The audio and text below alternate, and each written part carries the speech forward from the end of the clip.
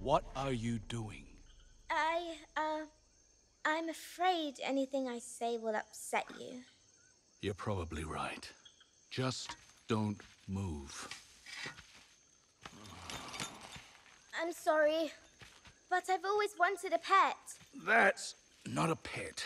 It's a monster, and we're not keeping it. But I already named it. Let me guess.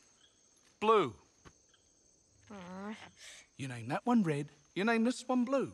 We stay here much longer, and we'll have a whole rainbow of critters that want to eat us. But he's so cute.